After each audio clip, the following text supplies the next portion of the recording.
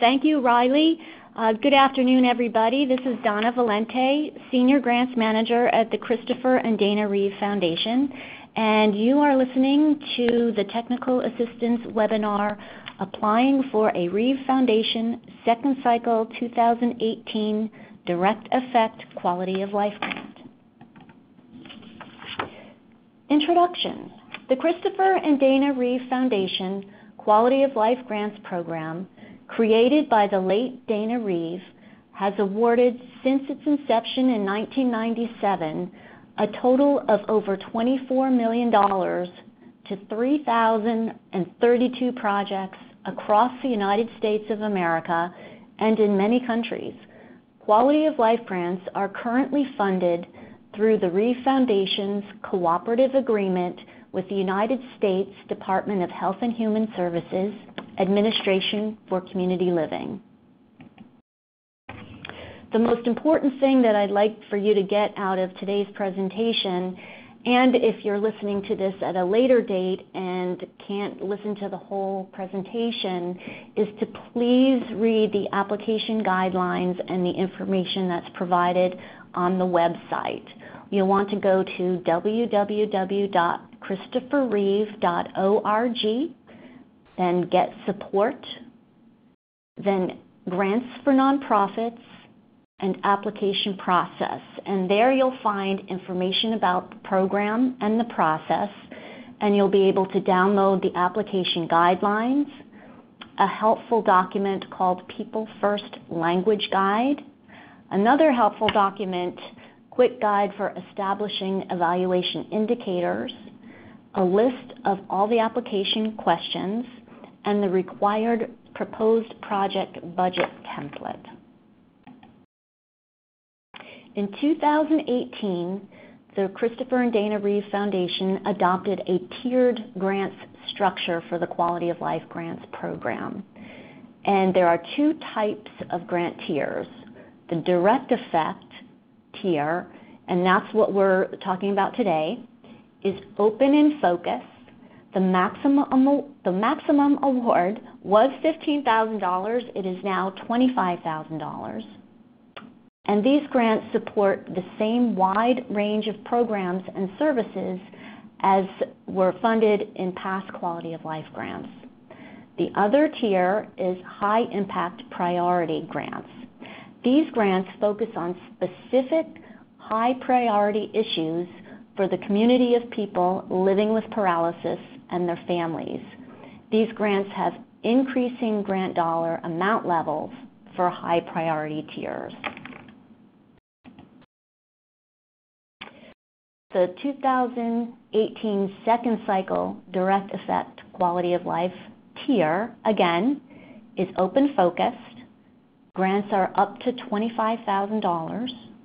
The letter of intent is not required for this grant tier, and we will require a proposed project budget template. I will be repeating these uh, series of instructions and details throughout the webinar because they are important and they are um, something you'll need to keep in mind. Just a little bit about our high impact priority tiers.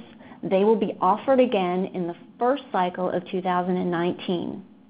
And they include a $50,000 grant for employment, $40,000 grants for nursing home transition, and $30,000 grants for transportation, respite and caregiving, and disaster response.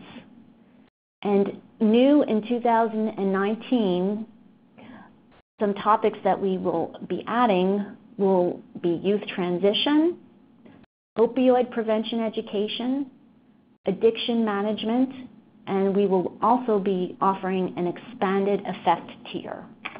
Again, these will be offered again in the first cycle of 2019. Now we'll do a little bit of a program overview. The Quality of Life Grants fund nonprofits, tribal entities, and municipalities for a wide array of projects, programs, and services. The Christopher and Dana Reeve Foundation is paralysis focused and as such, our grant funding must be targeted to projects that will serve individuals living with paralysis and their families. I'd like to give you our definition of paralysis. The Reeve Foundation uses a functional definition of paralysis, and this is similar to what's used by the World Health Organization. Difficulty and/or inability to use arms and/or legs due to neurological conditions, including, but not limited to, spinal cord injury, traumatic brain injury, stroke, cerebral palsy, spina bifida, ALS, post-polio syndrome, transverse myelitis, multiple sclerosis, and other conditions. While we will consider supporting programs that include people that have other types of disabilities, cross-disability organizations, as well as inclusive community projects that aren't targeted for individuals with paralysis or other disabilities but want to be inclusive, Reeve Foundation Quality of Life Grants projects must serve at least three individuals with paralysis as defined above and/or their families and caregivers. What is a successful Reeve Foundation grant? A successful Reeve Foundation Quality of Life grant is a modest award invested into a very specific project or part of a program or project that directly impacts the lives of people with paralysis and their families. Impact can be demonstrated through numbers of people served and other quantitative measures, along with stories and examples of quality of life improvement. Who can apply? Quality of life grant applications are accepted from nonprofit organizations, municipalities, and tribal entities. Who can't apply? Applications cannot be accepted from organizations outside of the United States of America, for-profit companies, and individuals. Individuals seeking financial assistance are encouraged to contact the information specialist team at the Christopher and Dana Reeve Paralysis Resource Center. The 800 number is 800-539-7309, and you should ask to speak with an information specialist. Prior grantees. Organizations that have received one or more quality of life grants in any category or program in the past are eligible to reapply two years after the most recent grant award. Earlier this year, we had lifted that restriction on prior grantees waiting to reapply uh, because everything was brand new with the piloted programs. This time, we are reinstating that. So grantees from the second cycle 2016 and further back are eligible to reapply this grant cycle. If you were awarded in the first cycle of 2017, you will be re-eligible to apply in the first cycle of 2019, so two years after that last grant. What kind of projects are funded? The direct effect quality of life grants fund the same wide range of project categories that were funded in the past. It's quite a list. I'll just run down them, and you'll see these again. Uh, adaptive sports, accessible playgrounds and ball fields, accessible treehouse, assistive technology, advocacy, arts, camp, caregiving, consumer education, durable medical equipment, education, employment, facility accessibility modifications, fitness and wellness, healthcare, home accessibility modifications, media development, medical professional education, physical or occupational therapy, peer mentoring and support, service animal program, therapeutic horseback riding, transportation, and transition from institution to home. What kind of projects can't be funded? Quality, quality of life grants cannot support prototypes for invention of equipment or other research and development activities that have to do with intellectual property, fundraising events or paid fundraiser positions, lobbying and or efforts to influence legislation, projects that will serve less than three individuals with paralysis and or their families, projects that cannot be completed within 12 months of receipt of the grant award, or projects that have already been completed.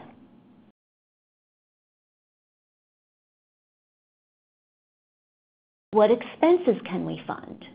Quality of life grant funds can support equipment, supplies, programmatic personnel, programmatic consultants or contracted workers, entry fees, programmatic transportation and travel, facility rental, project marketing, and other expenses.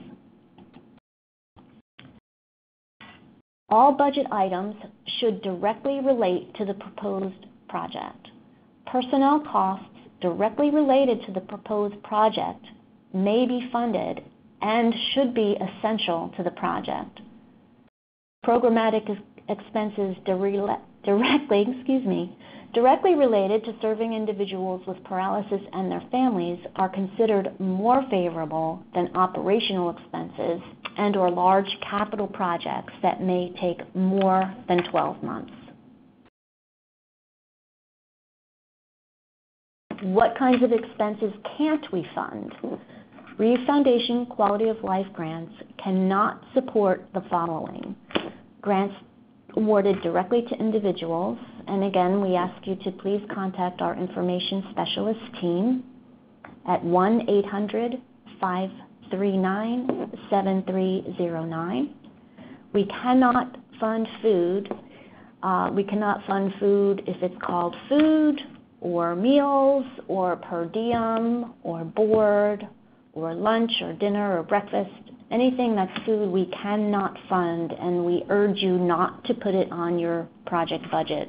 Um, if you put it on there, um, it's just not going to look good. Uh, we can't fund it. We'll have to remove it if we do fund you. And uh, since we do state it several times, um, it's important not to include food.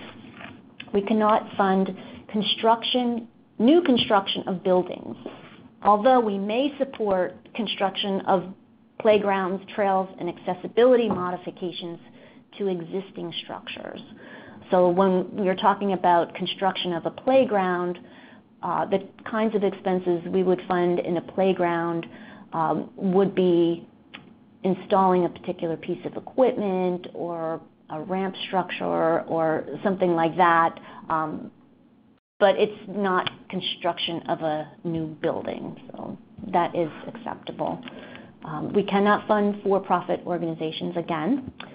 Uh, we cannot fund indirect costs above 10%, and that's also considered administrative overhead expenses. A little bit more about indirect costs. Indirect costs, also called facilities and administration, should only be included under other costs by organizations that require them for all granted projects. For example, universities and large hospital systems at their federally negotiated rate. So if your organization does not require that all grants have a portion of indirect costs included in that project budget, please don't include it. Including indirect costs in the project budget for organizations that don't require facilities and administration will lower the applicant score. Multiple submissions. Organizations may submit one application in a grant cycle. This, again, is different from what we had done earlier in this year. Um, we had that more open because everything was new. We're going back to one submission per organization. Multiple submissions in a grant cycle are not permitted. Special consideration. Special consideration will be given to projects that target the following underserved population groups: current military and/or veterans and their families, persons at risk of incarceration and current or released prisoners, ethnic minorities, homeless, indigenous or tribal communities, LGBTQ, limited English proficiency, rural residents, low-income and/or poverty populations, and newly injured people with paralysis and their caregivers.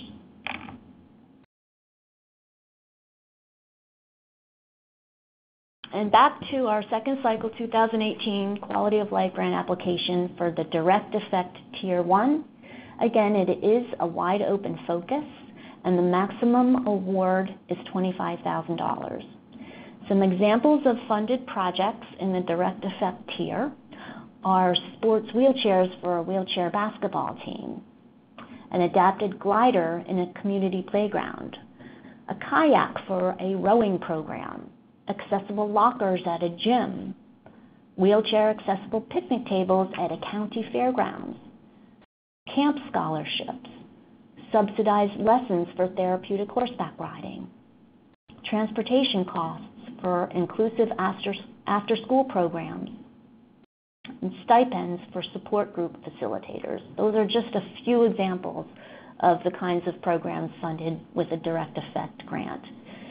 These awards are expected to have a short to medium-range impact.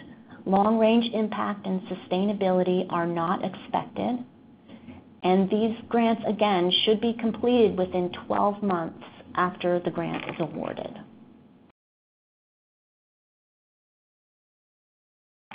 Letters of intent. Again, letters of intent are not required before submitting a full application for a Direct Effect Quality of Life grant. Okay, now we're going to jump right into the application questions. I'm going to go through every question, and we'll talk a little bit about the budget. So the first question, um, and this should tell you if you should proceed or not with your application. The first question is paralysis focus. We confirm that the proposed project will serve individuals with paralysis and their families. That's a yes or no question. If you answer no, it most likely means that you, this application that you're attempting is not a fit for our program. Project information. Project name. Please give your project a name. Project type, and this will go back to our list of project categories that we went over before. You should choose the one that's closest to your proposed project. So I'll read through them again. Adaptive sports, accessible playground or ball field, accessible treehouse, assistive technology, advocacy, arts, camp, caregiving, consumer education, durable medical equipment, education, employment, facility accessibility modifications, fitness and wellness, healthcare, home accessibility modifications, media development, medical professional education, physical or occupational therapy, peer mentoring and support, service animal program, therapeutic horseback riding, transportation, transition from institution to home. Next, we want to learn where did you learn about this grant opportunity. And we ask you to choose one Facebook ad, prior grantee, word of mouth, the foundation center, or other. If you choose other, um, please explain. And then we'll go into the organizational information. We would like to know your mission statement, the official mission statement for your organization. This should be three paragraphs or less. We do give character counts, or I'm sorry, uh, paragraph suggestions. Um, we do want to keep them concise. Uh, we often get several hundred applications. So um, the mission statement is usually a set uh, couple of paragraphs. It should not go over three. We would like to know the description of your organization's history and capacity. Please briefly describe your organization's history and its capacity to do the proposed project.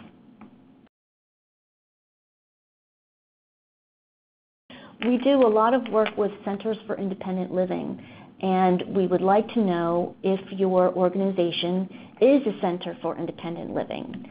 So we would ask you to please choose one of the following that your organization is a center for independent living, that it's an agency for centers of independent living, or that it is neither a center for independent living or an agency for centers of independent living. It's helpful for us to track this information and to be able to, to pull it to report to uh, the Administration for Community Living. We would like to know the approximate size of your organization. So we asked you for the total annual operating budget of your organization. This should be in US dollars, and this is the organization's total expenses for the current year. We also want to know if you've applied to the Reeve Foundation in the past. So we would ask you to please choose one, either a previously requested Reeve Foundation Quality of Life grant, you previous, previously received a Reeve Foundation Quality of Life grant, you're a first-time applicant, or you don't know. The project description is next. We would like you to please provide a short description of the proposed project, including who will benefit, what your organization wants to do and why, where and when it will take place, and how it will be done.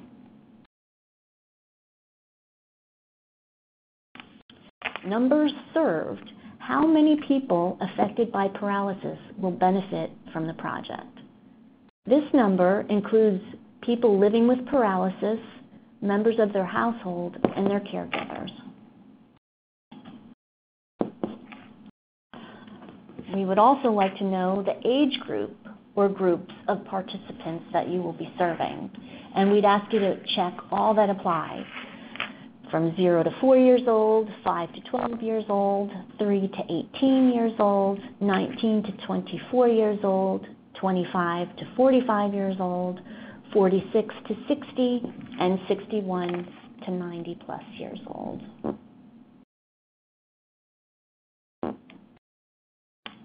And then we ask you to choose any of the underserved targeted populations that your project may serve.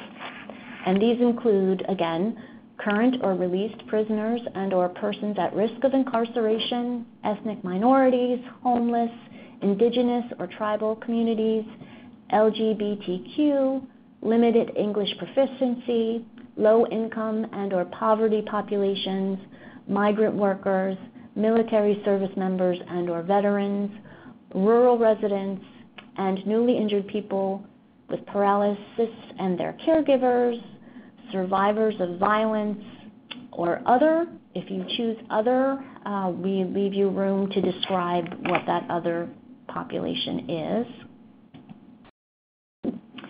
And also, something that we like to track is if your organization is considered a medically underserved area or population. The Health and Resources Services Administration, HRSA, defines medically underserved areas, MUAs, and medically underserved populations, MUPs, as geographic areas and populations with a lack of access to primary care services. Please choose one answer for each of the two questions below. The first one is, application organization is a MUA or MUP. Application is not a MUA or MUP, or do not know if applicant organization is MUA or MUP. The second part of this question is the designation. If your organization is either an MUA or an MUP, please tell us the designation. If your organization is not an MUA or MUP, or if you do not know, please enter NA. Project timeline. Grants are expected to be completed within a 12-month period. We'd like you to enter the start date, and this is a date field based on the expected receipt of the grant funds, and the project end date, and that's based on the 12-month grant period. If your proposed project will not take 12 months, you can enter the proposed end date here. Proposed project activities and benchmarks. Please provide a timeline of major project activities, including proposed start dates, benchmarks, and end dates. Um, in this answer, we would like you to provide a little bit more detail of um, what exactly you're doing and when those parts of the project will start and be completed. Budget information. Here, we would like you to enter the total budget, the total proposed project budget amount. So that if your budget is more than you're requesting, um, whatever it is, that's what we want you to enter here. And then we want you to enter the amount requested from the Reeve Foundation. Both of these fields should be in US dollars. For the amount requested from the Reeve Foundation, uh, the maximum grant award, again, is uh, $25,000. Project contingency funding. Please tell us how funding requested from this Reeve Foundation grant fits with your overall project budget strategy. If other project funding is pending and subsequently denied, how will the project be funded? What happens if the Reeve Foundation is not able to support the proposed project?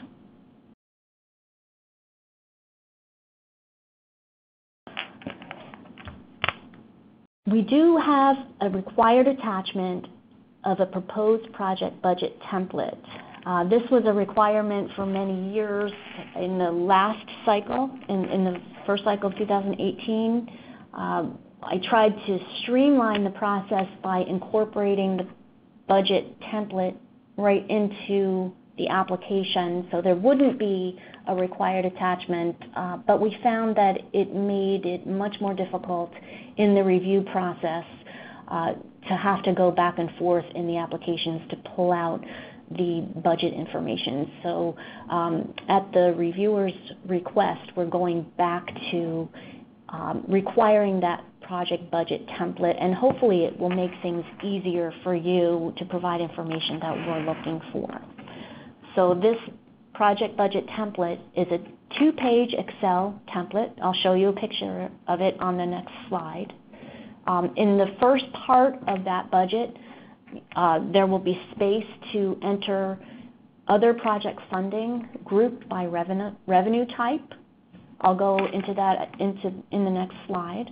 Um, it also, the template includes formulas that calculate the subtotal for each category so that it automatically fills the budget summary at the end of the form. Um, so the summary of the total funds requested on the template must equal what you've entered for the Reeve Foundation requested amount. So if it differs you'll know that something was filled out wrong and you're going to have to make an adjustment before you submit. If you fail to submit this template, unfortunately, it's an automatic decline. Uh, we get so many requests that um, if you're not, if you don't follow that rule, that it, it's just an automatic decline. Um, the good thing is if you apply earlier, early enough, I did have one application that came in very early did not submit this required attachment, I had to decline, but they will have enough time to reapply if they choose with the corrected budget. Okay, this slide shows, I know it's very hard to read, but it's small to try to fit the whole um, side, both sides on the page. Um, that's what the first and second page looks like. Um, it is a two-page template, um, but let's go to the next slide so you can read it better. This slide shows the top of the first page. You'll see, and I apologize that it's small, but you can, you can read it. Um, the first section is other sources of funding. You'll see the first column there are different types of revenue. So we have internal funds, individuals, foundations, corporations, uh, federal government funds, and state government funds, and then other. So you can put a total for each of those categories, if it's applicable, in the dollar amount cells, um, and then tell us if the, that other funding is committed or if it's pending. Um, so that gives us a little bit more information about other potential funders for your project. The next section is personnel, and uh, the column on the left is the person's name.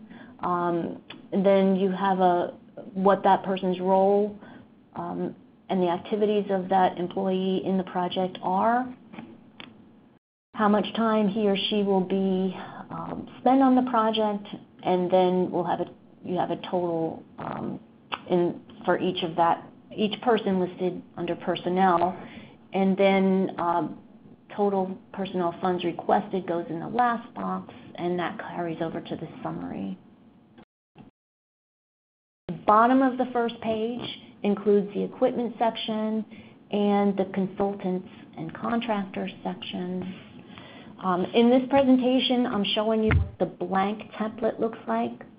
The application guidelines has examples for every section, um, what it would look like if that's filled in and how we want that information shown.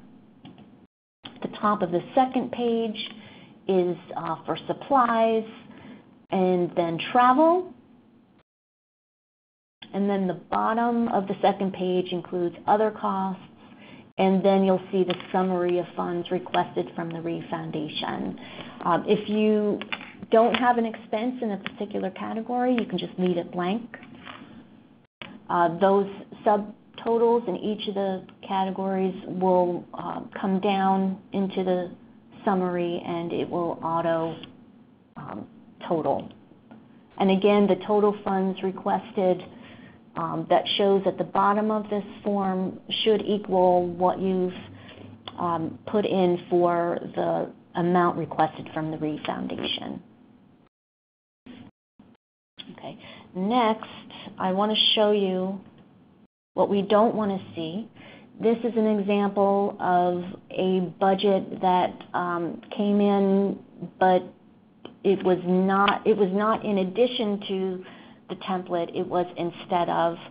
So I did need to decline, and um, so hopefully this applicant will want to come in again with the with the correct budget. And I did change the name of the applicant, um, but I wanted to point out a few things on here.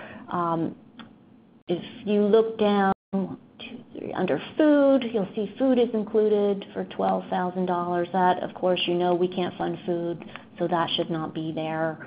Um, the total request, I believe, for this one was was 15,000.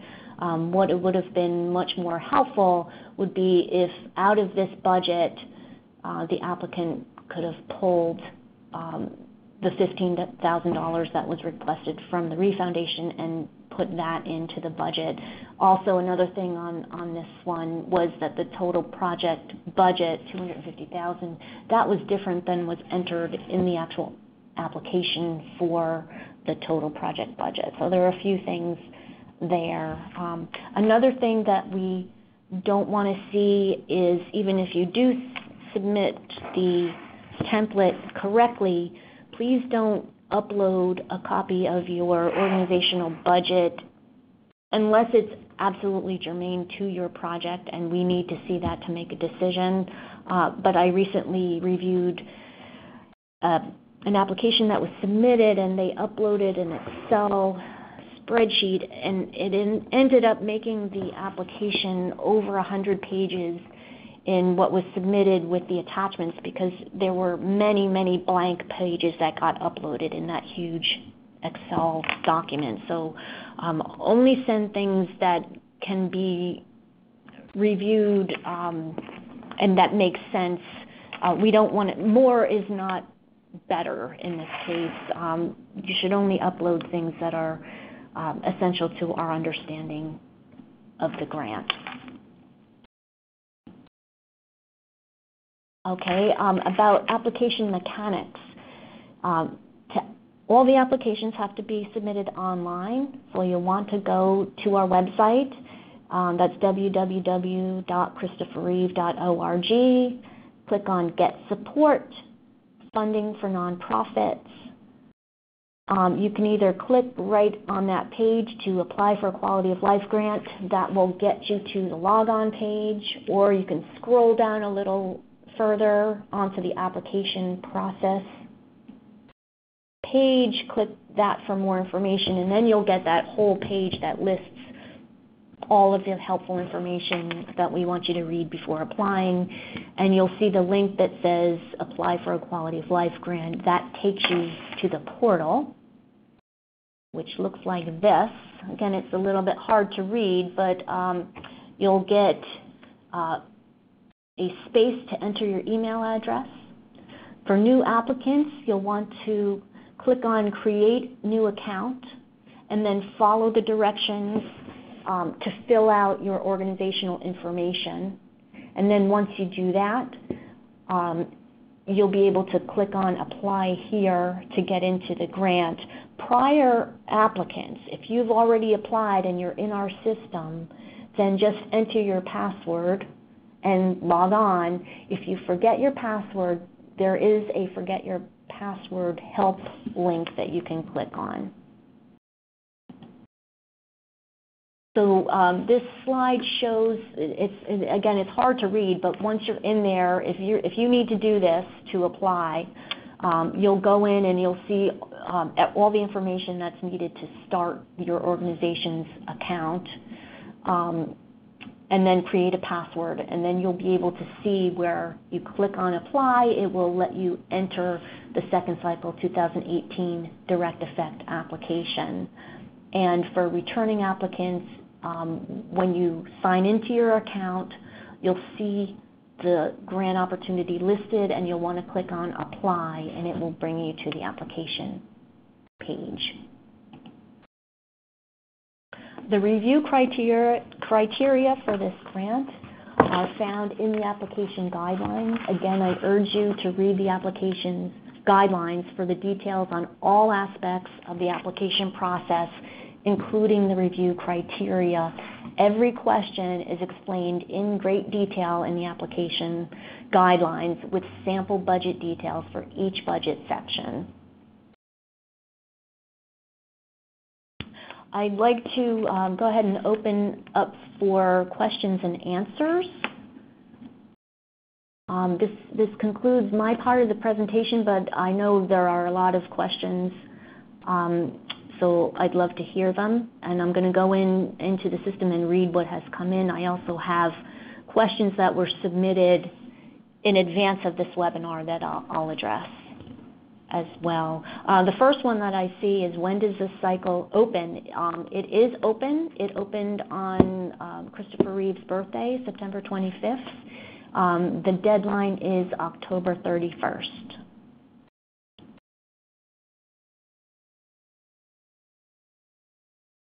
Again, all of the questions um, will be answered either live in this presentation or afterwards if I don't get to your question. We will be reviewing all of them, aggregating similar questions, and answering them in a document that will be available on the website. And this presentation is being recorded as well and will be archived and available on the website. Um, it should be available hopefully by the end of this week. Um, a question I see here, will grants support equipment that helps individuals with paralysis in a clinical rehabilitation setting? Yes. We have done that before, and we we will continue to do that.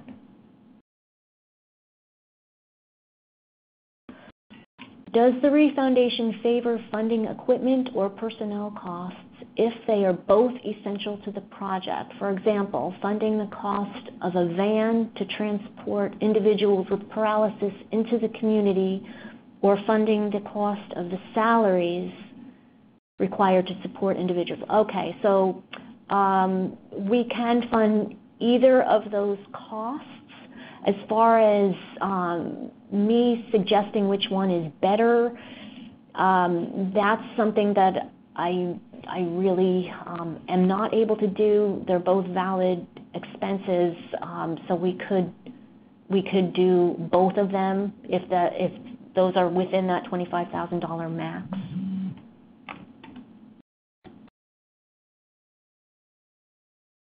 This grant appears more driven to tangible items um, or supporting programming such as facilities, instructor stipends, and scholarships. Um,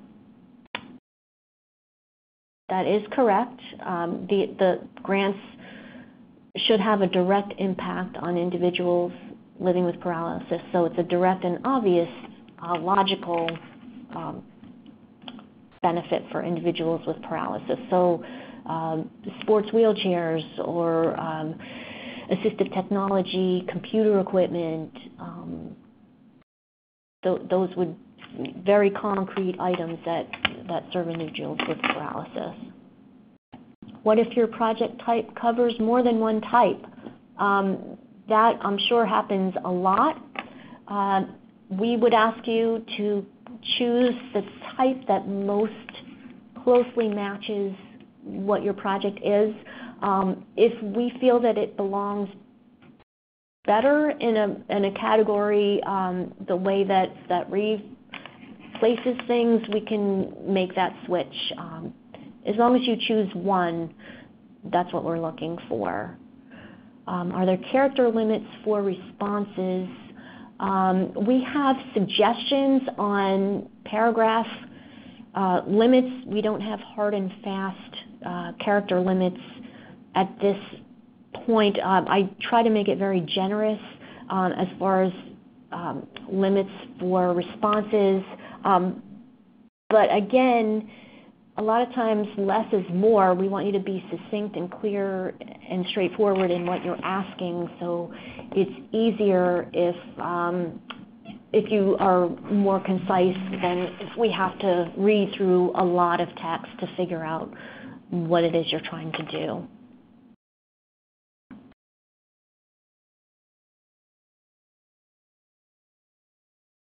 For the numbers of people served, we are looking for individuals with paralysis, so that is the number that we're looking for. Um, and then number of people benefiting only in one program year. If your equipment grants are gonna benefit people longer than one year, you can estimate how, like, for the life of that piece of equipment and how many people it will benefit.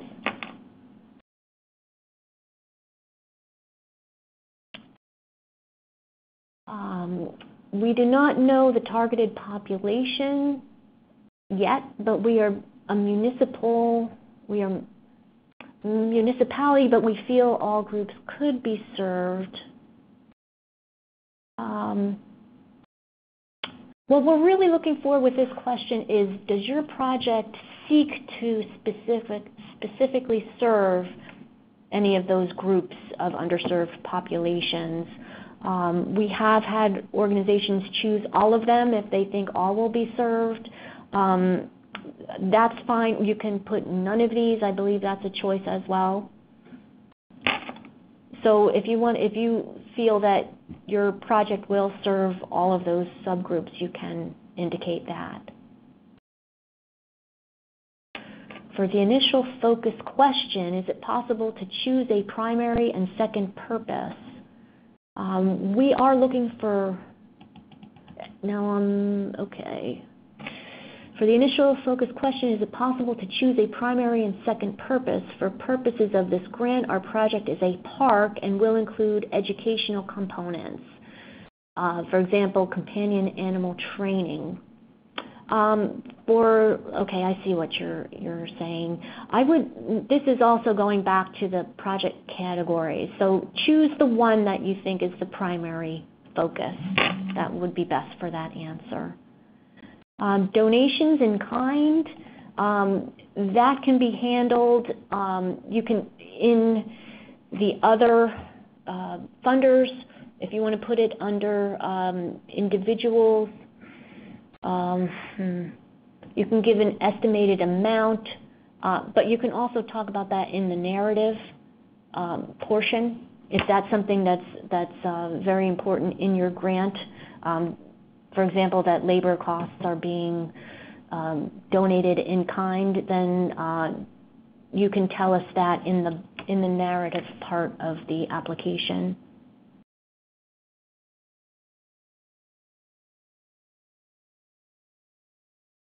Uh, that's another in-kind contributions on. Um, the way that this form is set up, um, it it's looking for a dollar amount in that second column. Um, if you do have an in-kind contribution, I believe that if you type into the field where it says either individuals or foundations, you can you can um type. I believe you can type in kind there. Um, I think it'll let you do that, but you can also explain that in your narrative. Um, for the other sources and amounts, we are looking for Uh, specifically for that proposed project.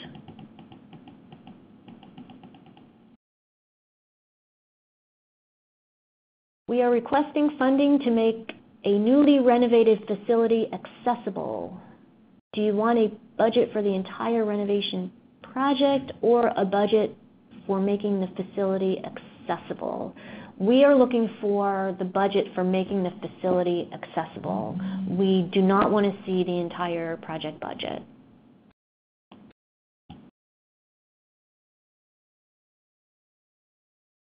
And here's another question um, around that same thing. Do I understand correctly that you do not want to see detail of project expenses that will not be funded by the Reeve Foundation, even if they are essential to the project budget? Um, We don't need to see the detail.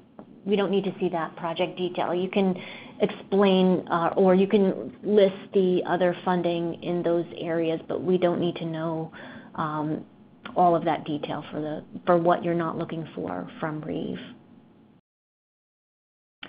If we applied last cycle and were declined, does it make sense to apply again for the same request? Um, you can certainly apply again for the same request if you're confident that your proposed project is a fit. Um, and this brings me to another question. A lot of people that applied in the last cycle or previous cycles and were declined want feedback on why they were declined. Unfortunately, we're not able to provide individual feedback. Um, in many cases, it was simply that there was not, um, we didn't have the program dollars available to fund all of the fabulous requests that came in. We had to decline many. Um, so there isn't uh, a set of steps that I can give to applicants to say, if you do A, B, and C, or change X, Y, and Z in what you proposed last time, that will mean, yes, you can get funded. Um, it is highly competitive because we get far more applications than we can fund. So if you are looking for something that you can strengthen, I would suggest that you look at your application and then compare it with the guidelines and see where you may have um, submitted something that was not quite what we were looking for in the budget categories or um, perhaps some of the detail that was provided. Just make sure that you are providing the information that we're asking, um, and that you're as clear as possible, um, and that what you're doing is aligning with the guidelines. And that's my best advice for previously declined projects. Um, if you applied uh, last cycle and you were declined, you do not need to wait again. Are we only accepting direct effect grants this cycle? Yes. Um, this is for direct effect grants up to $25,000. Again, the high impact grants will be offered again in the first cycle of 2019. When are the applications due? Um, they are due on October 31st. Um, the first cycle, Another question, do you know what the first cycle 2019 direct effect deadline? That, I do have a calendar. Um, We will be opening it in mid-February, and the deadline is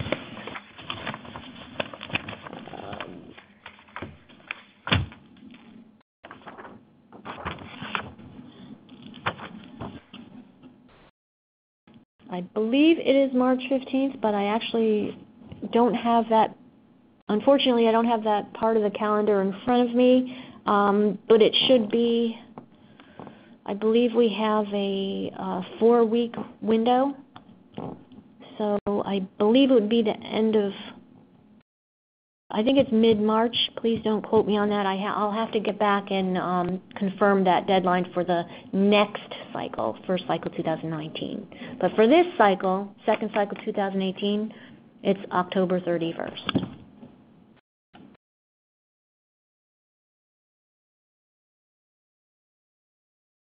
Oh, here's a great question. Are proposals either fully funded at the requested amount or not funded at all? Or does the foundation sometimes decide to fund a project at a lower amount than requested?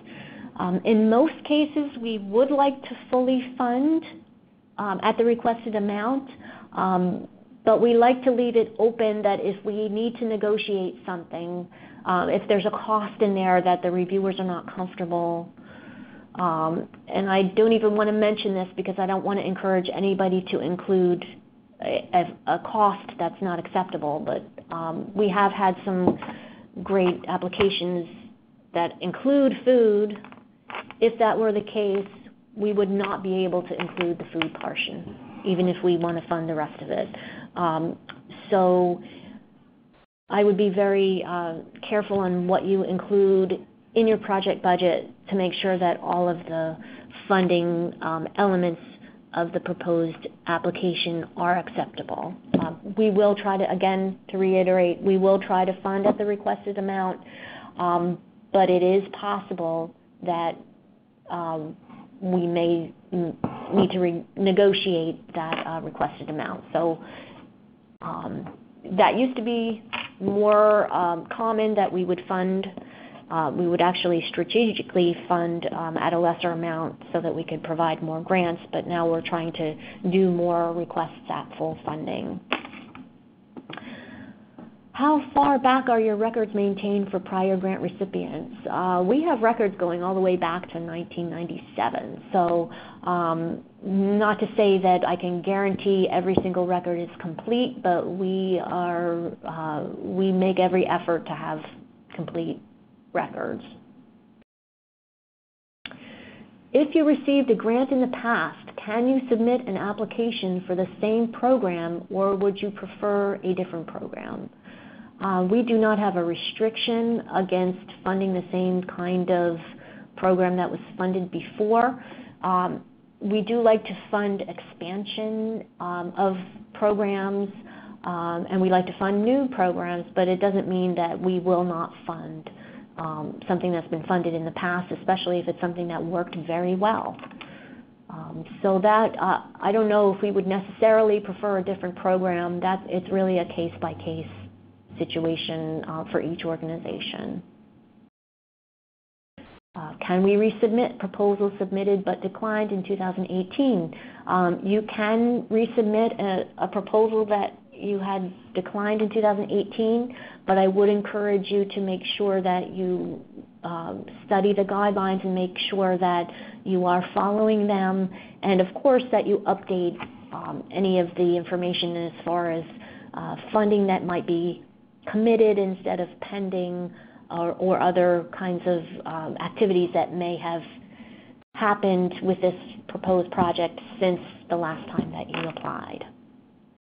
When will award determination be announced? Um, we would like to notify all applicants by December 21st, so it's in advance of the, December holidays. And that will be an email notification whether or not you're awarded. Um, okay, I have two questions. The first is how do you find newly injured? Um, that, for, for our purposes, is up to a year out. Even closely um, to that number could be included as newly injured. Can we include staff salaries and equipment directly related to the project as committed internal funding? Yes. The next cycle, the next cycle will open in mid-February. Um, can respite care be covered with the direct effect grant? Um, yes, it can, but it is not at the $30,000 level that it is in the high impact grant. It would be 25,000 at the max. Does therapeutic riding equal hippotherapy? Yes. Uh, we include hippotherapy when we're talking about therapeutic horseback riding.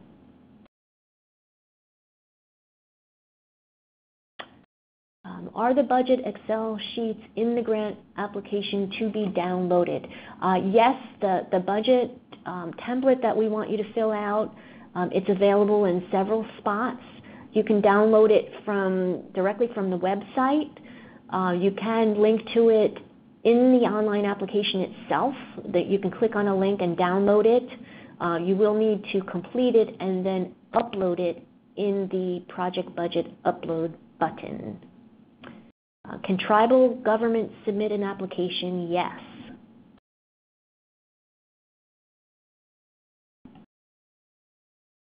Um, where would camp scholarships be listed on the budget template? That I would list under Other.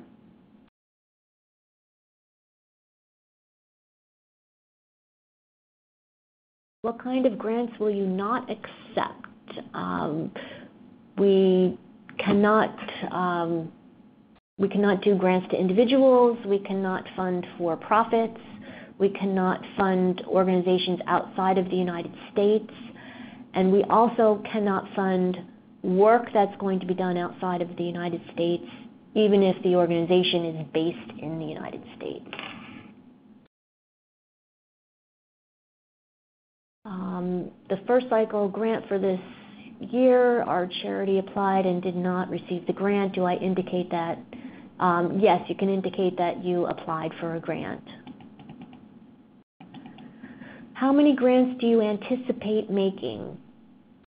Um, with our current level of funding, um, if we fund at the maximum level of 25,000, we can make 21 grants of $25,000. Um, usually, we fund requests that aren't. We don't get all of our requests at that high uh, maximum level. A lot of times we get uh, grant request amounts for less than that, so that number could very well be higher than 21 at 25,000 each.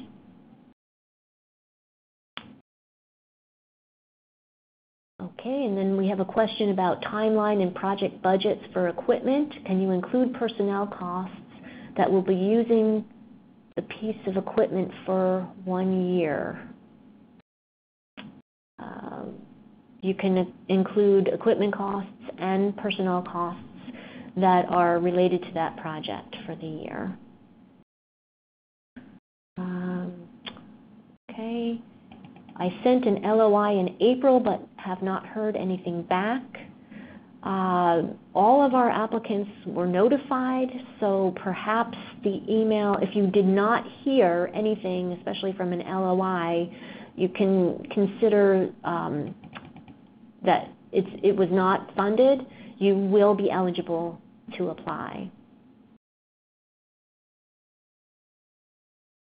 Okay. You said completed projects are not eligible, but can we include things already completed in preparation for the main project, such as grout repair done in prep for installation on top of a flagstone surface? If you have already done something um, in the project prior to applying, we do not want you to include that in what you're requesting for us. It, the, the grants should not be budget relieving, so you should be requesting funds for activities that have not yet occurred. Um, will we make this presentation available that we can share it with our colleagues? Yes, it will be, the entire presentation will be recorded and archived and available on the website. Um, we, I also have slides available that I'd be happy to send. If we are building a new accessible bathroom with an overhead lift system, what portion of that project is eligible? The lift system would be eligible. Uh, if you're doing uh, roll under sinks, um, automatic door openers, all of those parts of the project would be eligible.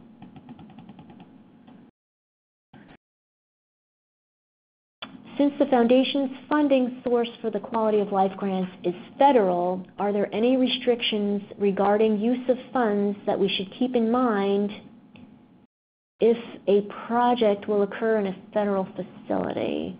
For example, an arts program serving veterans with paralysis at a VA medical center. Um, well, we, we would not want you to include um, project or um, budget items that we're not able to fund, uh, and those are all listed. Food, we can't fund. Um, we don't want to. We we can't fund indirect costs unless it's a federally negotiated facilities and administration cost that your organization mandates for all grants. Um, food is the, the main the main thing in your case. Uh, we cannot do grants to individuals. But an arts program serving vets um, with paralysis at a VA medical center, that is absolutely within the funding paradigm for this program. For building an inclusive playground, would you entertain funding the seven wheelchair accessible ramps, or would it be better to be a standalone piece of equipment like a wheelchair accessible merry-go-round?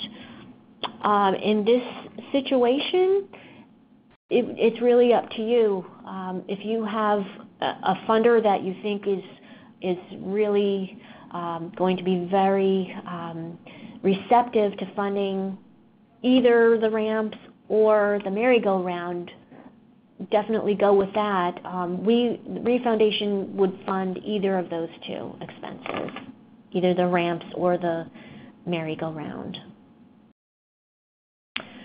Is it better to focus on a specific program or all programs, fall, winter, spring, and summer? I would say in most cases it's better to focus on a specific program. However, if you're going to be requesting, for example, sports wheelchairs for sports programs, and those programs will be run throughout the year, um, for if it's equipment for all the programs, you can you can ask for equipment for the year round programs. Um, if it's something like uh, coaches or facility rental, I think you'd be better focusing on a specific program. Do equine expenses for a therapeutic riding program go under other expenses? I would say in most cases, yes. Um, please keep in mind we cannot fund food, even if it's food for horses. So we can fund veterinary care um, and equipment. Um, uh, we can't fund food, and it should go under other. We are submitting a project to have a disabilities conference. This was funded by the Reeve Foundation for our last conference in 2016. Most of the expense is meals provided by the hotel. If meals are not allowable as a fundable expense, is it possible to make an exception for a conference? Unfortunately, we are not able to fund food, even if it's an expense that's incurred um, at a conference. I would look at your project budget and see if there's any other way that you can frame a request that does not include food. Uh, for example, you might want to do scholarships um, for attendees, uh, trans- accessible transportation, or stipends, um, perhaps for um, for caregivers. But we cannot fund food, so um, please don't include that. Can we apply for physical rehab programs for local spinal cord uh, gyms, rehabs? I would say yes. Regarding the question about age of individuals served by our program, if we have a program for children, do we only consider the age of the children or also the age of their parents who will be positively affected by the program? In this case, I would say we are looking to learn about the age of the, the children, and you can talk about how the program will also positively affect the parents, but I, I think for ages served, we're really looking for, for the kids, the age of the kids that you're going to be serving. I operate a lending closet for durable medical equipment and have two locations to safely transport equipment for people with paralysis to borrow, a cargo van is needed. Is that something that could be funded through this direct effect grant? I would say yes, although I am thinking it probably would be more than the $25,000. Um, that's the maximum for this grant. So I would um, encourage you to uh, demonstrate that you are going to seek other funding for this project. We are a 501c3 that uses the 10% indirect costs and is required to apply it to all grants, projects, etc., but we are not a large hospital. Okay, if you if your organization is required to include it, then you can include it. And you can explain in that in the other detail cell um, that that's the case. Uh, would training to use assistive technology be an acceptable, acceptable ask? Yes. Uh, we have three-tiered funding support, which includes helping to build a hovercraft adaptable for individuals living with paralysis. Is multiple projects allowed? Okay, this one has me puzzled because it says you're wanting to build a hover, Hoover hovercraft, we cannot fund research and development. We cannot fund anything to do with intellectual property um, or uh, development of prototypes or beta testing. So I hope that answers your question. Um, is multiple projects allowed? Uh, we really want you to focus on on one project, um, unless, as I talked about before, you're um, requesting support for equipment that's going to be used over over several projects. A veterans serving organization has started a health and wellness program and desires to have a space within their facility to house this program. can a portion of the ask go toward facility costs? Um, if this, if the facility costs are essential to running the project, um, and you need to include rental, then I would say yes, we, we could, you could include that. Um, next, we are a municipality that received a grant two years ago for beach wheelchairs. We would be asking for matting that is placed on the sand so individuals can get to the beach. Uh, would we put this as an add-on to the original proposal, or is it okay to put in as a new proposal? I would say um, this should be a new proposal, and you can talk about how it is expanding on um, what was funded before in funding the beach wheelchairs. And you can talk about how wonderful the beach wheelchairs have improved accessibility and how the mats would, would improve it even more. When you ask if the organization is a, an MUA or MUP, does this mean the organization serves um, MUA or MUP? Um, we would want to know, yes, if your if your organization is located in either a medically underserved area or medically underserved populations. Um, if your organization is in, um, included in that, we would want to know that. And if it is, it, it, should have an official designation that you can find on, on HRSA. If you don't know, then you can just put don't know. Can we request adaptive equipment for snow sports program and water sports paddling program? Yes, you can. When will you accept the next round of applications? Our next round will open in February, and that will be for direct effect grants, which is this program, as well as our high impact grants.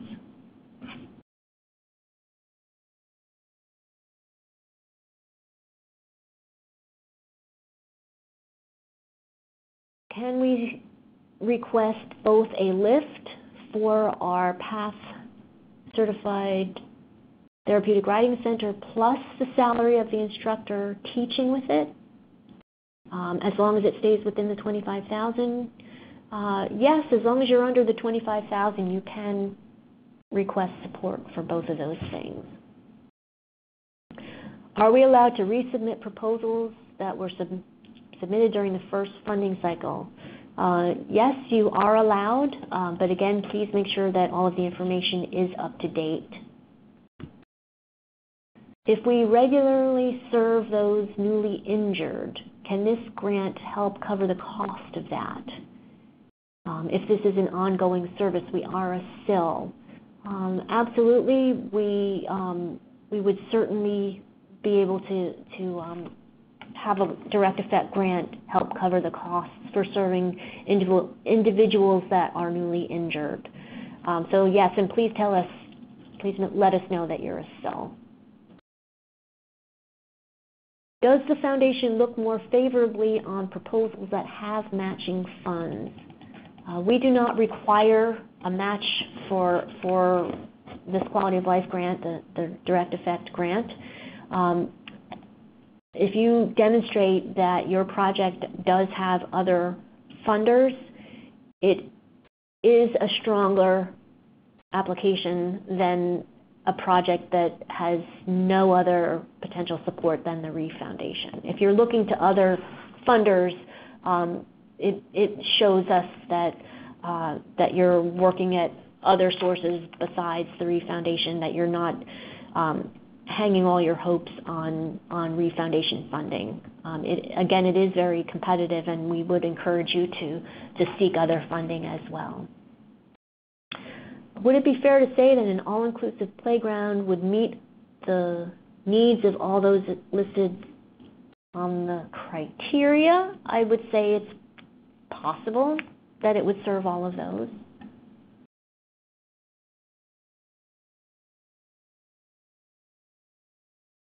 Okay, currently no one with limited mobility can access our site, so current particip- participation from those groups is zero. Our goal is to become accessible to them. How do we estimate the number affected? Um, well, I would think if you're doing a, a project um, that you would you would do some kind of feasibility study or needs assessment to know that there are indeed individuals that do want to access your site.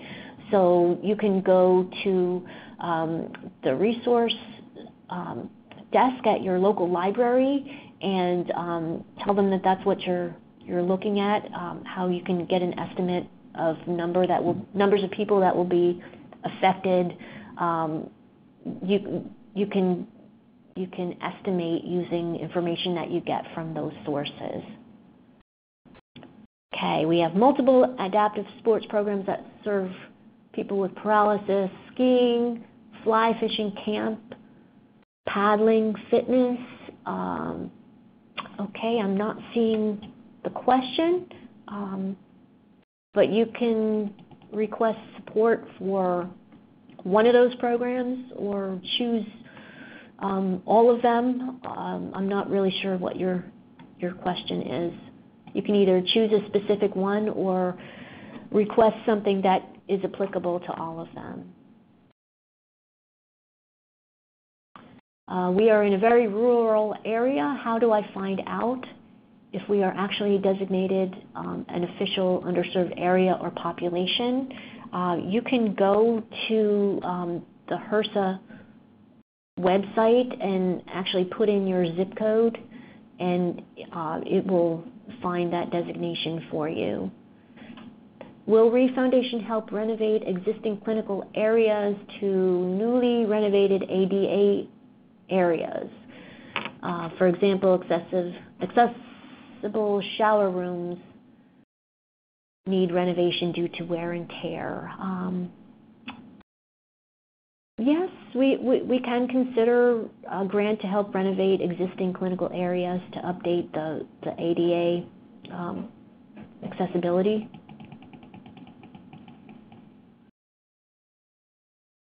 We provide adaptive hand cycles and tricycles to children. These last for a number of years and have a positive effect on the child, and average of four others in the family and caregivers. Is this a reasonable response to the number of people served question? Yes. Um, that question, I believe, is a numeric field, so we will want you to put a number in that. And if you wanted to say that the number of people listed as numbers to be served comprises, and then you can you can put that sentence in about an average of four others in the family to get that total. Would nonprofit nursing home residents in wheelchairs fit your criteria for paralysis? Yes.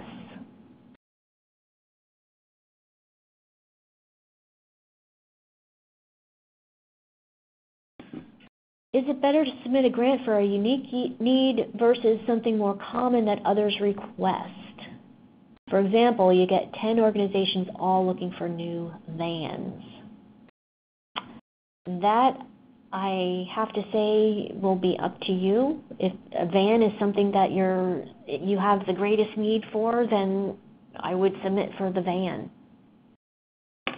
Um, then again, we're always looking to fund new and innovative things. So if you have something that you feel is unique and serves individuals with paralysis, especially if it's something that is new either in the field or for your organization, we, we would like to hear about it. How do you calculate personnel wages? Um, well, how do you calculate personnel wages? that is something that's going to have to come from your organizational budget. Uh, when will the funds be allocated? The funds will be allocated Um, early January. Will the foundation help with a larger van, such as a 12 passenger van for an independent living home that has standard seats also?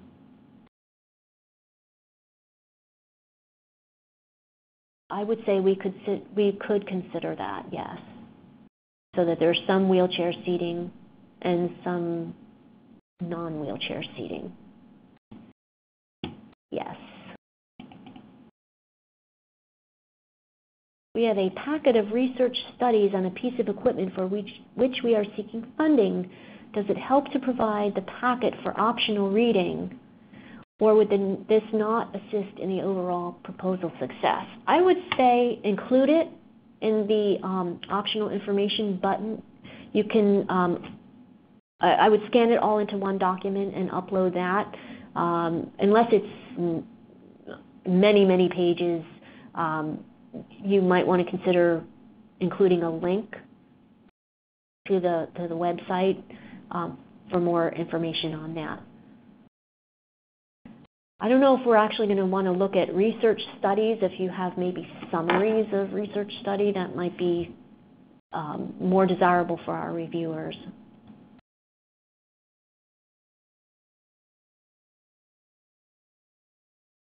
How do we come up with a number of people served if you are a park without full-time staff? Uh, again, for this question, I would suggest that you uh, contact your resource department at your local library and tell them the kinds of information that um, you're being asked to provide, and they can help you estimate that. Again, the time frames the funds will be available. Uh, the funds will go out in early January. Again, we'll be making notifications at the end of December, hopefully by the 21st. Uh, we'll notify all applicants by email. Um, if there's a change to your organizational information after you have um, input the information for your organization, um, you won't be able to make that change yourself. So please send us an email at qol at christopherreeve.org and let us know what you need to be changed in your account, and we'll make that change for you.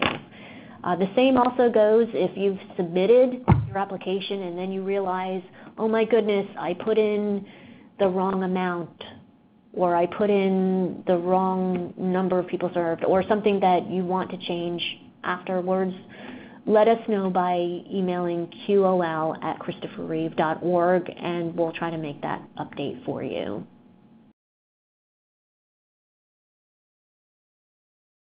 Okay, um, if the fundraising for the All-Inclusive Playground project is being done by a volunteer com community committee and is a standalone project, but the city is providing the vehicle to collect and receive the funds, do you want to see the total annual operating budget for just the playground project or the overall city annual city operating budget?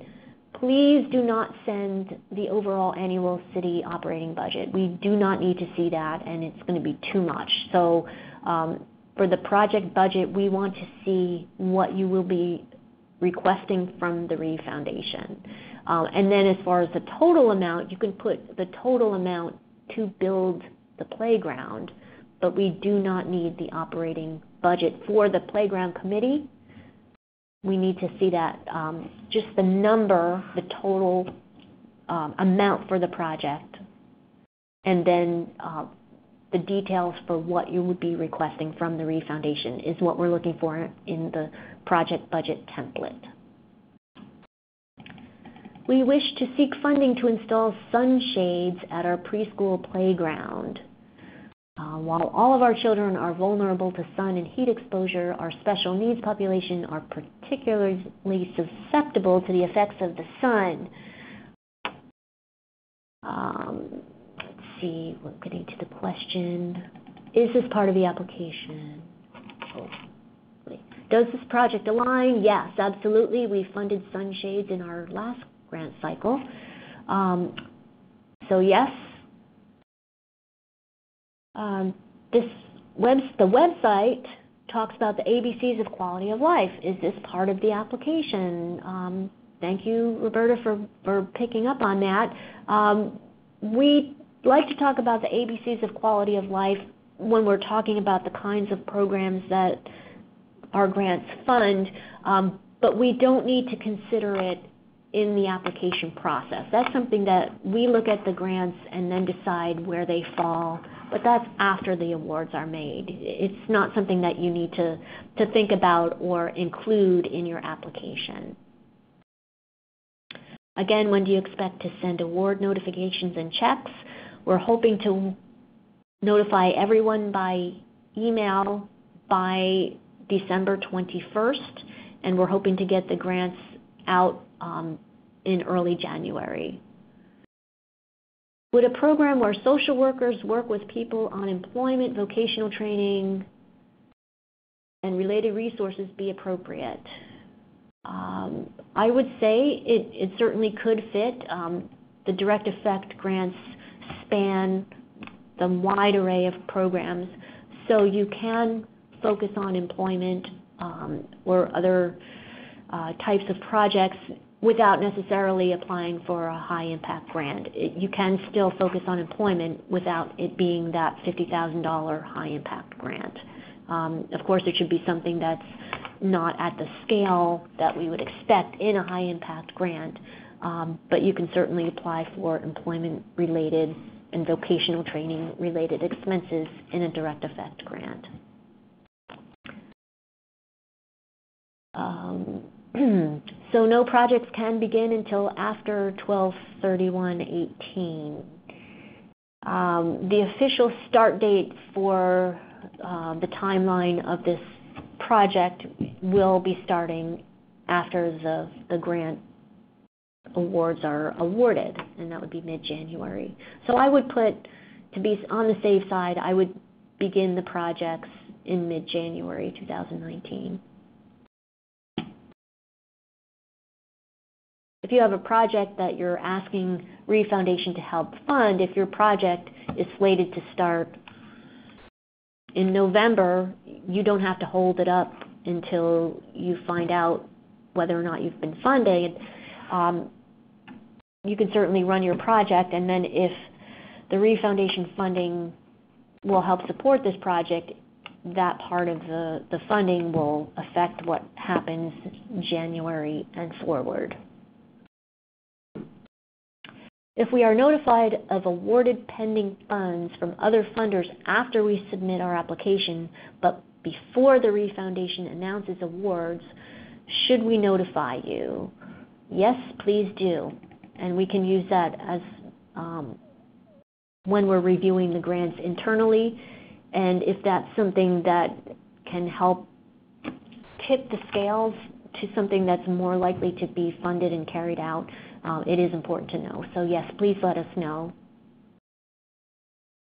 We have pledges being paid in installments. Should we show that as two separate lines?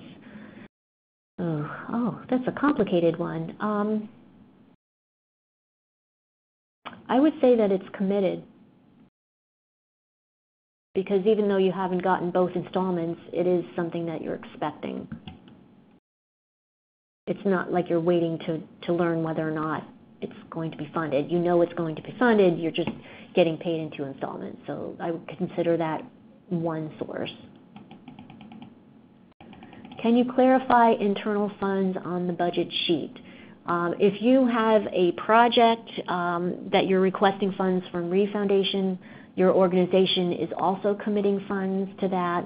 Um, that's what we're looking for. You don't need to specify every single expense um, or every single dollar.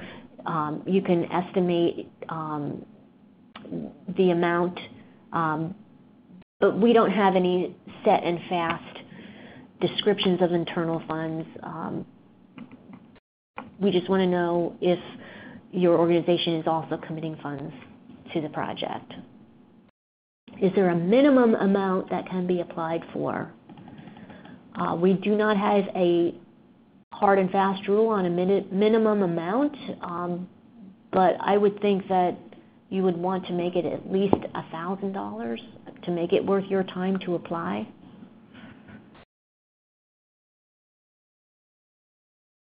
Uh, can we apply for two different projects in the same year? For example, a fitness program and a national adaptive sports conference. Um, you can apply for two, two different projects in the same year.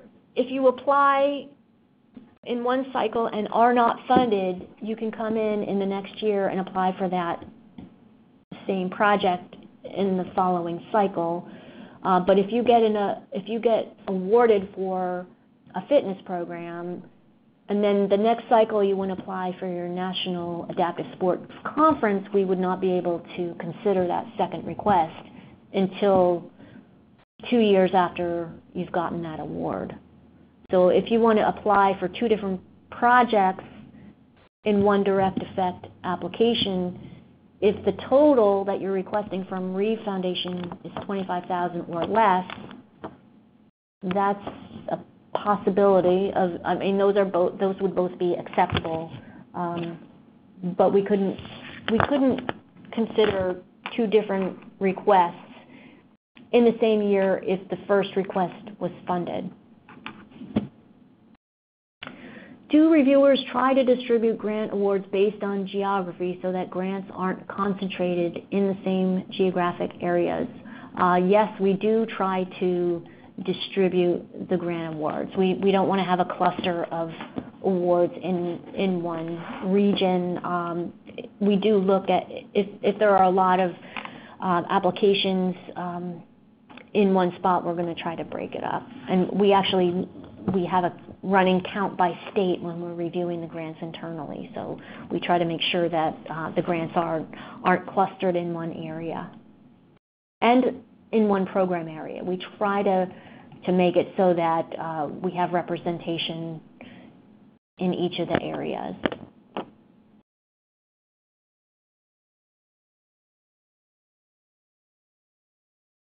Okay, what would happen if we applied to you and at the end were approved for a specific piece of playground, playground equipment, and during the time we were waiting to hear from the Reeves Foundation whether or not we were approved, another donor offered to sponsor that piece of playground equipment. Could the grant funds be used for a different piece of wheelchair accessible equipment on the playground? Um, if we award funding for a merry-go-round and another foundation says we're going to fund the merry-go-round, if you're already, if we've already committed to funding your playground, please let us know as soon as possible that that request needs to be adjusted because um, we're going to want to know what other piece of equipment or other um, potential uh, piece of that project that we can fund. So if there's any change in the scope of what you've proposed after you've been um, accepted for funding, then we definitely need to know that right away. Um, we are a park with our own budget. Do we use our own budget or the township budget because we are under the township? Um, we would want to see the total budget amount um, for the park. Um, and then the, if you're requesting a piece of I'm not exactly sure what you're going to look to fund in that park, but that the project, the project total, I would think from reading the question, Uh, the project total is part of the budget for the park. So in both cases, we don't want the entire budget. We don't want the township budget. We don't want the entire park budget. We want the project budget for what you're coming to Reeve Foundation for. Can large equipment such as a cargo van be purchased and/or budgeted for used equipment, or does it have to be new? Um, it does not have to be new. If you find a, an excellent used cargo van, um, it, that's acceptable. Can other funders be discounts from equipment vendors? Um, that is more like an in-kind donation. Um, you can discuss that in the narrative that you're working with vendors to get discounted equipment. Um, not not technically an other funder. Um,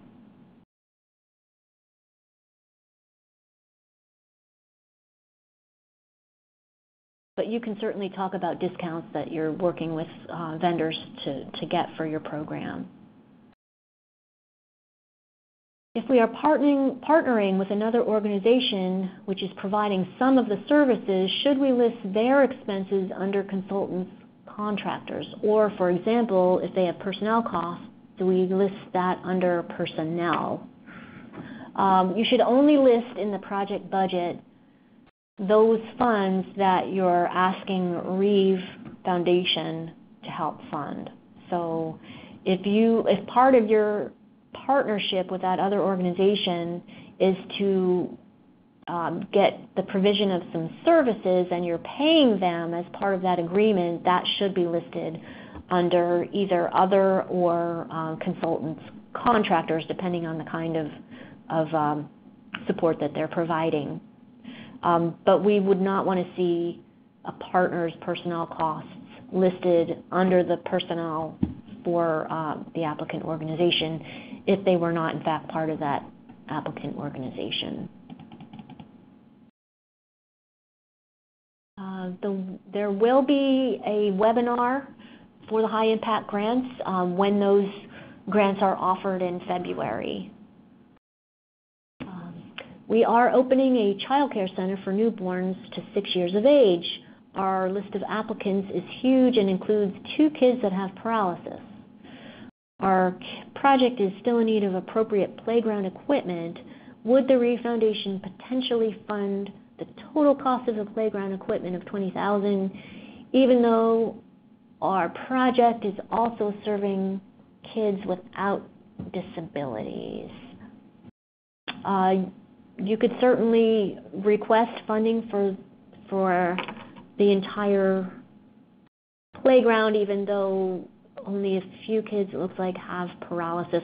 Um, I would like you to um, to look at at the definition of paralysis that we had in the in the beginning of the presentation. It's very broad, and there might be more students, um, more more children, babies um, that are living with paralysis that you might not even be thinking as um, being considered as having paralysis.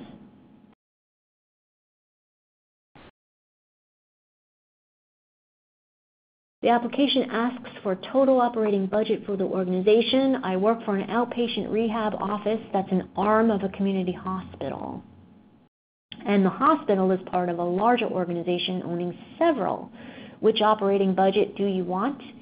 Um, the purpose, first of all, of, of asking the, the number, the budget number, is that we can get an idea of the size of your organization. So if it's a if it has all volunteer staff and, and no organizational budget, that's important to know. Or if it's a huge organization, that's important to know. Um, for the purposes of this grant, when you're talking about all those different layers, um, it would be fine for you to put um, the expenses for the rehab, outpatient rehab office. That's an arm of the hospital. That would be fine. Um, would attaching reference letters help? Uh, if you want to combine letters of support into one document and upload them, that would be fine.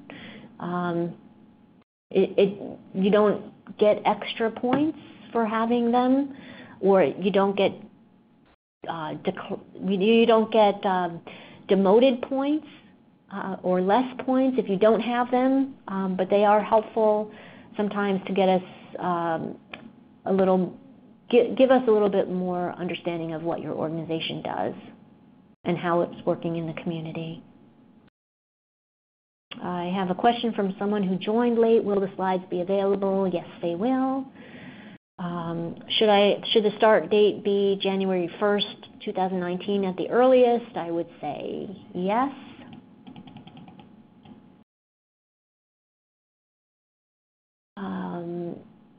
What kind of recognition does the foundation especially appreciate?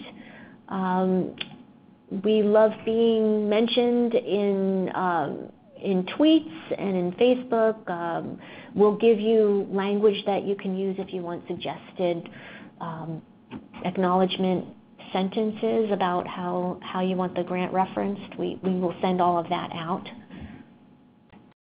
We also have um, it's a, a, template press release that we send to all of the grantees um, that has a fill in the blank of, of my organization received a blank um, a quality of life grant, grant in the, in the amount of blank, and then you put in your uh, project name and then fill in what your project is funding, um, and then you can send that out. We have a memo that, that helps um, helps you spread awareness about your grant and, and talks about getting lists of media and, and sending them out to different outlets. And we have logos, we have decals and stickers and patches and all kinds of things that can help you let people know about the grant.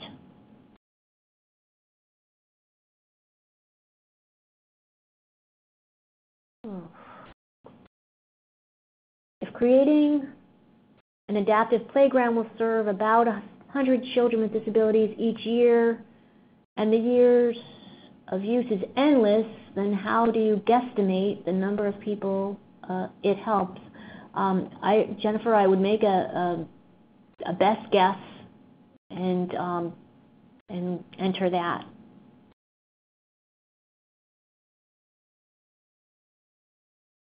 I operate a one and a half year old nonprofit focused on accessible gardening and horticulture therapy programs for people of all abilities, including spinal cord and brain injury. Would the grant cover materials and supplies for creating accessible gardens for individuals with spinal cord injury, as well as the professional hours to work one on one with these individuals? Uh, yes. Yes, we have funded uh, accessible gardening before, and um, we would love to do that again. Um, so I think both of those expenses would be eligible. And we apply twice in the same cycle? No. How would you like volunteers identified in the budget? Uh, we don't really need you to list volunteers in the budget.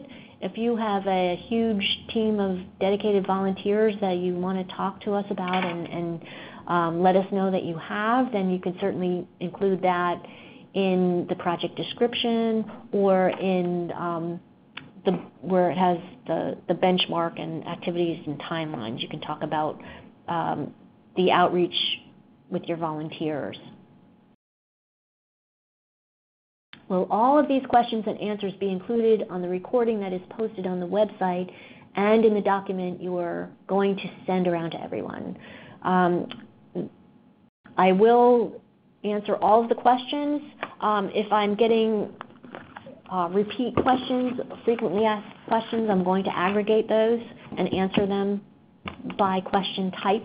So if you don't see your exact question addressed, um, it will be addressed in uh, related questions.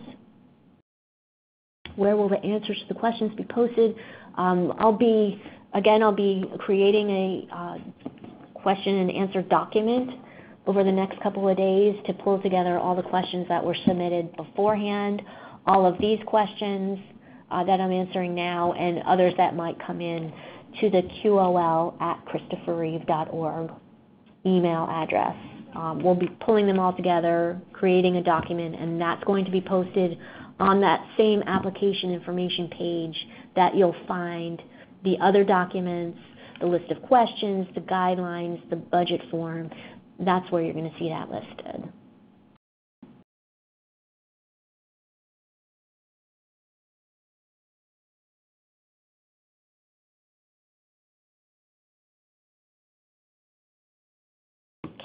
Um, just have time for a couple more questions. Uh, we have a peer mentor program for the new injured, newly injured and offer these services each year. Can this grant help cover the cost of that?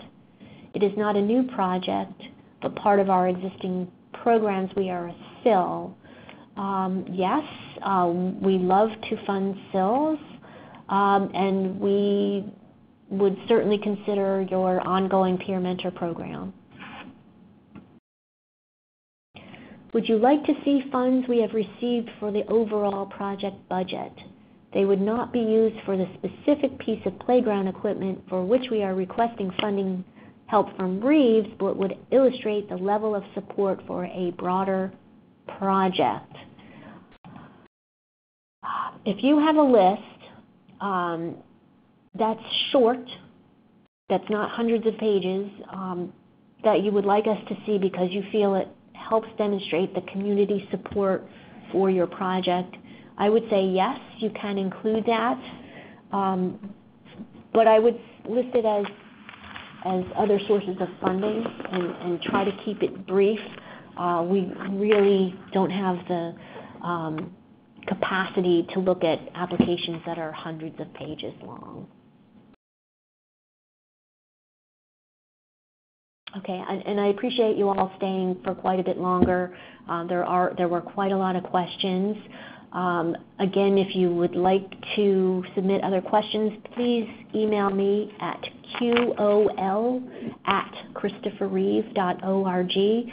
Um, I'll try to make sure that every question gets answered, and I appreciate everybody's um, understanding in the fact that we have to provide the technical assistance as a group um, in order to be fair to everybody. Um, so I certainly appreciate everyone's attention and time and um, really look forward to, to reading your applications.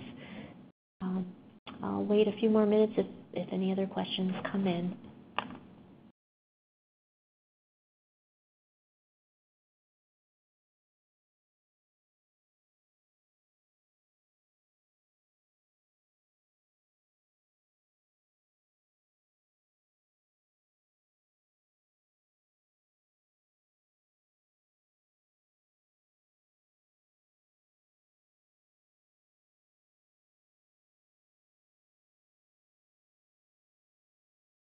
Okay, I have a question about um, if you have multiple grant proposals from individual regional offices for similar projects from one national organization, are they in competition with each other?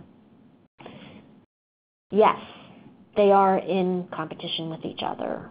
So, for example, if we have, uh, I'm going to use the example of MDA camps, summer camps.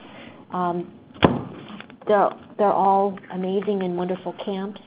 Um, however, if we have individual requests for a summer camp program from individual chapters, um, they will be competing with each other. Um, so that, that's the way the, the program works at this point.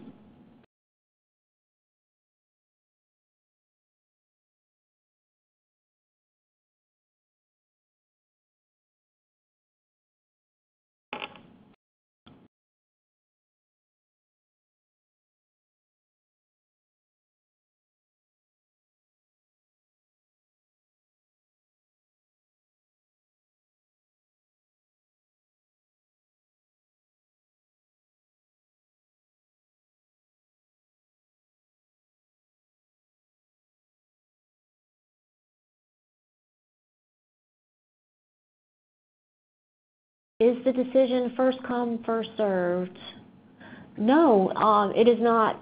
Um, you you will have one thing about applying very early is that if there's something that is not fundable, um, for example, the organization that applied and did not submit the project budget, um, I had to decline them, but they applied early enough that they can submit again with the project budget template attached, and then they will be considered. Um, but we don't consider the applications on a first come, first serve. Um, that's not how the decisions are made. We review um, every application uh, in several review stages. The first stage is our external review panel. We have a panel of experts um, that we send the applications out to them. They have specific criteria, and those are listed in the application guidelines. Um, the applications are scored, and the scores are returned to our office here. And then all of those um, data points are collated, and then we have an internal review process within the foundation. Um, so those those um, applications are reviewed again um, using the, the scores from the external reviewers uh, as a guideline in the review process. So yeah, it's definitely not first come, first serve. Every application is reviewed on its own merit.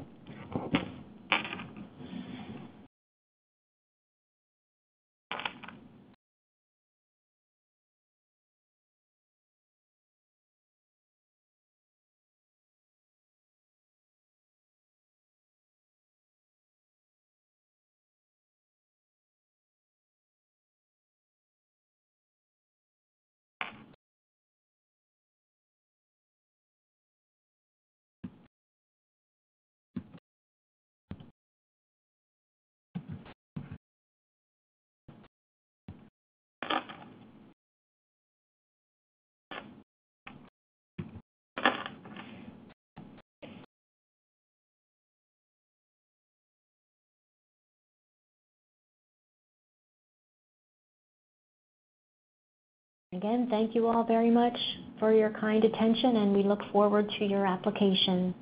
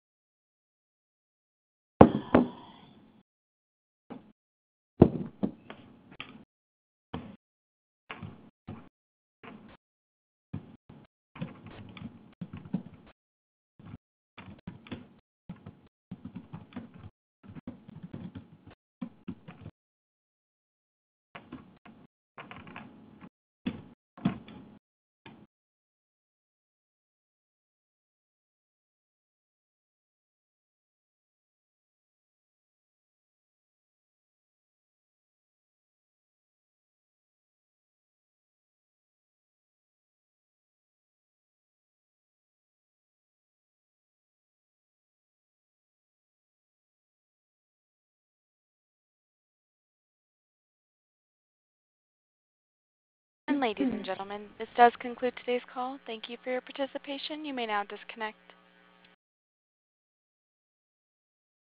Thanks, Riley.